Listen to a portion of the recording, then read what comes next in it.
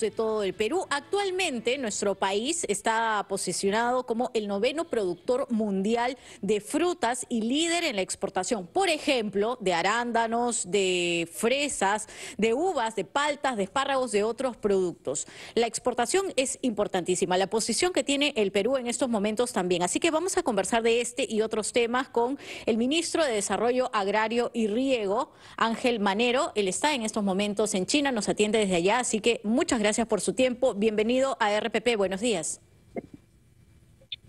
Doña, doña Giovanna, don Carlos, buenos días. Buenos días. Un saludo a todo el Perú. ¿Qué tal, ministro? ¿Cómo está? Eh, bueno, eh, queremos saber en primer término, eh, sabemos que usted ha presentado un análisis sobre las perspectivas económicas de la agricultura peruana, ¿no? y también pues ha destacado el tema de la agroexportación en nuestro país. ¿Cuál ha sido ese análisis que usted ha presentado respecto a las perspectivas que tiene en estos momentos la agricultura de nuestro país y sobre todo el tema de la agroexportación? Sí, mire, esta visita importante eh, ha tenido dos etapas. La primera es la reunión de China con los países de la CELAC, o sea, de América Latina y el Caribe, y ahí se ha presentado sin duda el análisis del Perú, las potencialidades de eh, inversiones que tenemos, eh, la potencialidad del nuevo puerto de Chancay, eh, se ha mostrado lo que es el Perú en agroexportación, pero la segunda parte de esta visita ha consistido en una reunión bilateral con el Ministerio de Agricultura de China, con el viceministro en este caso, porque no tienen ministro de Agricultura actualmente, y hemos sido precisos en solicitar cuatro cosas para Perú, que son cuatro protocolos fitosanitarios muy importantes. Ellos son el de frutas congeladas, que incluye mangos, arándanos y paltas. En el caso de mangos y paltas estamos hablando de oferta de pequeños productores, además del protocolo de granadas, de pecanas, y hemos iniciado el trámite para que Perú pueda exportar carne de vacuno y de porcinos a la China.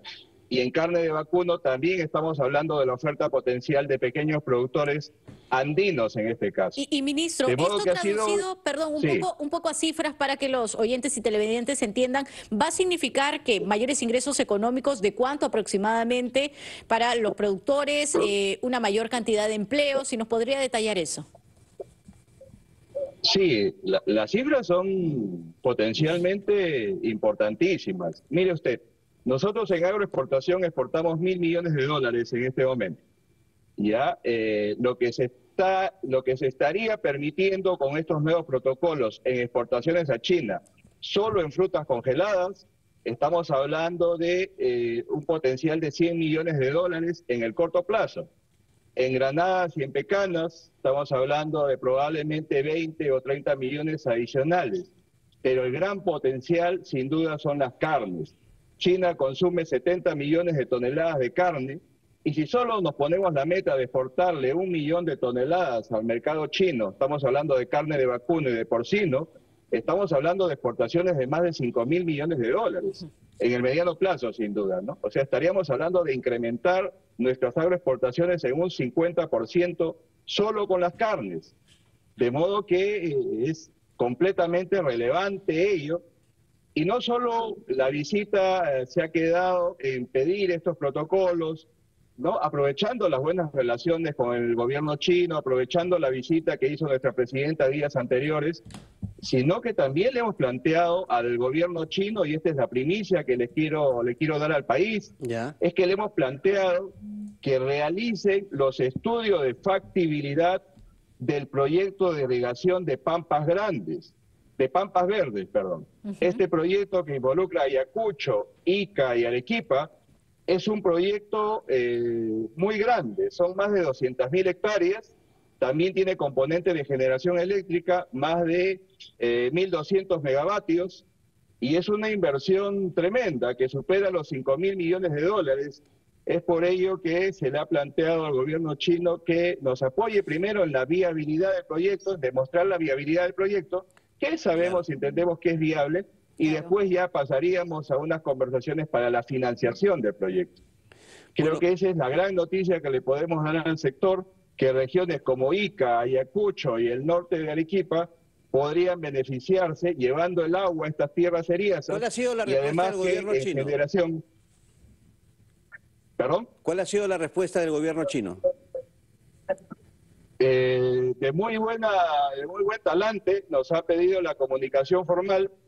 Eh, nosotros también estamos invitando al ministro de Aduanas de China para que en septiembre visite nuestro país, Ajá. de modo que personalmente le vamos a entregar la propuesta y creo que eh, es un buen momento para avanzar rápido con ello.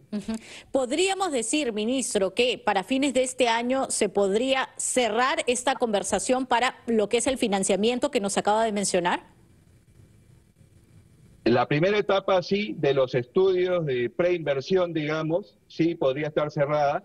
Lo- el financiamiento va a depender de los resultados de los estudios, que supongo que demorarán seis meses aproximadamente, de modo que a fines del verano siguiente ya podremos tener una Claro. eh, posición firme sobre el financiamiento del proyecto. Ministro, permítame otra pregunta. Eh, han habido algunos cuestionamientos a la posible transferencia del proyecto Majes Iguas 2 al gobierno nacional. Eh, lo que se ha manifestado es que esta transferencia no resolvería los problemas estructurales del proyecto. No, podría más bien, diríamos, exacerbarlos. Y que la presidenta Dina Boluarte estaría utilizando este proyecto como una especie de logro político, ¿cierto? Con objetivo político, ya poniéndonos acá plazo hasta el 28 de julio para su mensaje al Congreso, sin considerar la viabilidad real del proyecto. ¿Qué opina al respecto, ministro? ¿Qué responde usted ante estas críticas? Bueno, primero hay que decir que el proyecto Majes Iguas, el gobierno nacional ha solicitado la transferencia porque ya van 15 años y el gobierno regional no ha podido ejecutarlo. Porque ciertamente es un proyecto demasiado grande. Nunca una región ha eh, podido eh, consolidar un proyecto de irrigación tan grande. De modo que estamos sincerando las cosas y hemos pedido la transferencia. Ahora, precisamente el convenio se ocupa de asegurar que el proyecto se haga, de asegurar el financiamiento, de asegurar eh, todo el componente social que requiere, porque ciertamente hay que atender a la provincia de Cayoma y al distrito de Cayoma. De modo que, al contrario, el convenio eh, que permite la transferencia del proyecto al gobierno, al gobierno nacional soluciona los problemas. ¿No hay un existen, objetivo político, este es como se ha manifestado de de parte de la presidenta Dina Boluarte, de usar este proyecto, usar entre comillas, obviamente, ¿no? proyectarnos a su mensaje del 28 de julio como un logro? No imagine usted, eh, este proyecto va a demandar una inversión de cerca de 2 mil millones de dólares. Es un proyecto que se va a inaugurar, si empezamos ahora, se inauguraría a fines de esta década, de modo que estamos trabajando para el siguiente gobierno. Aquí no hay apro- aprovechamiento político de ningún lado y más bien es, es, no es un proyecto aislado, porque usted sabe que ya destrabamos Chavimochi, ya destrabamos Chinecas en Ancash, Chavimochi en La Libertad, Chinecas en Ancash, Alto Piura en Piura. Y de modo que Majes es un proyecto más a destrabar, no es el único que tenemos que mostrar, digamos. ¿no? Y- y se más han aún iniciado que además, ahora se suma ministro- Pa- Pampas Verdes. Se han iniciado ya, digamos, el diálogo o los acuerdos con las comunidades afectadas. Yo mismo he visitado la provincia de Cayoma, me he reunido con los frentes de defensa. Eh, hoy día se ha publicado en el peruano una resolución ministerial que forma la mesa de trabajo para atender las necesidades sociales y de infraestructura de Cayoma, de modo que estamos avanzando con ello. Y, y- y al contrario, ¿no? si en, en muchos años no se avanzó, mire, eh, hace tres o cuatro semanas yo fui a Arequipa y hoy día ya se está publicando Sí. la resolución ministerial que conforma la mesa con los diferentes sectores del gobierno nacional y el gobierno regional y el gobierno provincial. De modo que se está avanzando rápido y creo que con una celeridad que no se ha visto en los últimos años. Ministro, eh, una pregunta como integrante usted del Ejecutivo. Ayer la presidenta Dina Boluarte en una actividad ha dicho lo siguiente, ¿no? Eh, ojalá que este convenio, ayer se firmó un convenio en Palacio de Gobierno, un contrato de complejidad, eh, de alta complejidad, me refiero a dos hospitales de salud en Piura y Chimbote, pero dijo la presidenta, eh, ojalá que la prensa nos ayude a repetir este convenio durante las 24 horas, así como hace con las noticias tendenciosas. ¿Ya? Eh, de alguna manera, ¿no considera usted que, que la presidenta se ha equivocado al hablar de esa manera de la prensa? O sea, eh, ¿no da la impresión esto de que trata de marcarle la agenda a los medios de comunicación, la jefa del Estado? Yo, yo creo que como representantes del Ejecutivo nos corresponde poder poner temas en agenda siempre. Y yo creo que muchas veces se malinterpreta las palabras de la presidenta, pero, yo creo que siempre lo dice de, ¿eh? buen talante. Ah, eh, yo siempre encuentro siempre encuentro a la presidenta de buen humor y de buen talante. De o sea, usted dice que, la presidenta critica a la prensa de buen talante. ¿No le parece eso contradictorio? Yo creo, yo, yo creo que sí, yo creo que es, es un reto a la prensa a que difundan más eh, los logros del Ejecutivo, que ciertamente no se difunden mucho. Pero nosotros los periodistas, eh, los medios de comunicación, difundimos temas de interés público, ah, no temas positivos o negativos, sino que sean de interés público. Para eso los ministerios, el gobierno tienen sus departamentos o áreas de relaciones públicas, de prensa, de imagen. Pero, eh, eh, o sea, ¿usted sí cree que, que, que la presidenta le está marcando la agenda a los medios de comunicación? ¿Eso nos quiere decir? No, no, yo sí creo que hay un esfuerzo del Ejecutivo en los últimos meses de tratar de poner temas en agenda, como el que estamos hablando hoy día de la visita a China, el de Majes, y me parece importantísimo.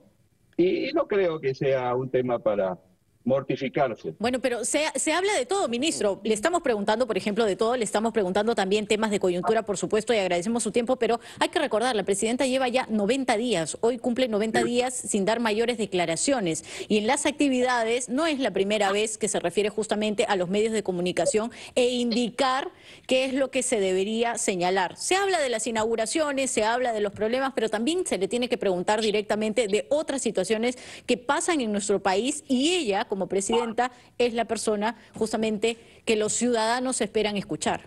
Y lamentablemente no habla. Eh, ella o el presidente del Consejo de Ministros, que es el vocero del gobierno, ¿no? De modo que eh, si la, presidenta, opta por un perfil bajo, ahí está el, premier para, eh, para llenar ese vacío, ¿no? Y el premier siempre declara y no veo inconveniente en ello. La presidenta debe de hablarle al país también, me parece. ¿No, ¿no cree? Mira, hay muchos países. La otra vez citaba Italia, ¿no? Con un presidente con perfil bajo y un premier que es el que constantemente está en los medios. De modo que yo creo que son estilos de gestión que tampoco es malo, ¿no? Yo creo que un, presidente declarando constantemente en los medios va a sufrir eh, inexorablemente un desgaste. Yo prefería que sea, eh, en lo personal, el primer ministro que declare constantemente y la presidenta solo salga para casos excepcionales para mensajes han habido, han habido temas casos muy importantes en los que la presidenta debió responder y hasta el momento no lo hace. Pero bueno, ministro de Desarrollo Agrario y Riego, Ángel Manero, muchas gracias por esta comunicación desde la China. Ha sido usted muy amable. Buen día, ministro. Gracias. Muchísimas Siete de la mañana con 50 minutos. Nosotros nos vamos a una pausa. Volvemos luego de los anunciantes.